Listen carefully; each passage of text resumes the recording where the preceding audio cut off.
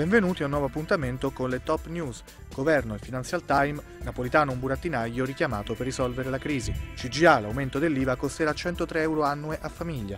MPS dissequestrati i beni congelati ai vertici della banca. Napolitano è un burattinaio richiamato a risolvere la paralisi italiana, così il Financial Times sul capo dello Stato.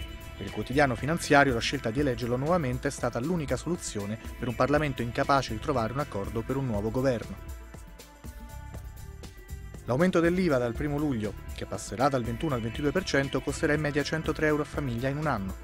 La stima della CGA di Mestre indica per il 2013 un aggravio complessivo di 2,1 miliardi che arriverà a 4,2 miliardi nel 2014.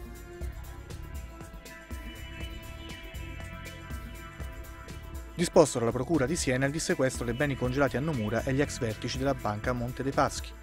Gip Bellini ha così respinto il decreto di sequestro emanato nei giorni scorsi per circa 14 milioni e mezzo di euro.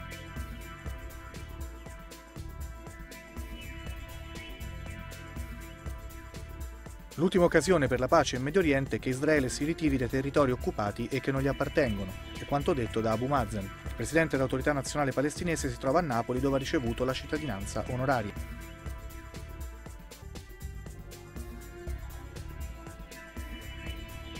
Nuovo episodio di aggressione ai danni di una bimba in India. La piccola è stata trovata con la gola tagliata. La bambina di 6 anni, abbandonata in un bagno pubblico a Nuova Delhi, è stata sottoposta a un intervento chirurgico e le sue condizioni sono stabili.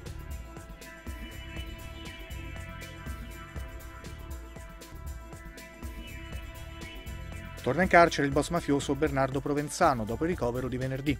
Provenzano era stato trasportato in ospedale a Parma per eseguire alcune analisi in seguito a uno sbalzo di pressione.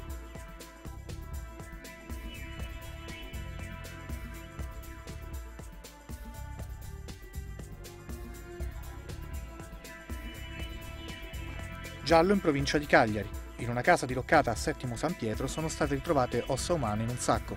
La macabra scoperta è stata fatta da un pensionato, padrone del rudere, al quale potevano accedere tutti.